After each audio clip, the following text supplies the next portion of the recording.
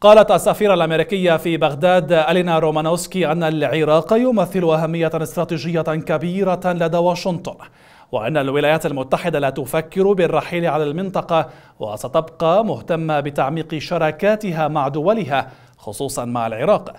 وكشفت عن توجه أمريكي لمواصلة دعم رئيس الوزراء محمد شياع السوداني في التزامه باستئصال الفساد وغسيل الأموال وتهريب الدولار إلى خارج البلاد لضمان تقوية النظام البنكي الدولي وشعور الشركات والمواطنين بالثقة بأن لديهم نظاما بنكيا يحمي مدخراتهم ومواردهم المالية.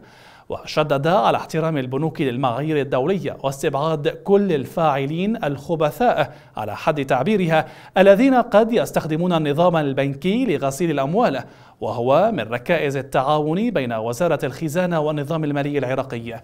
منذ وقت طويل.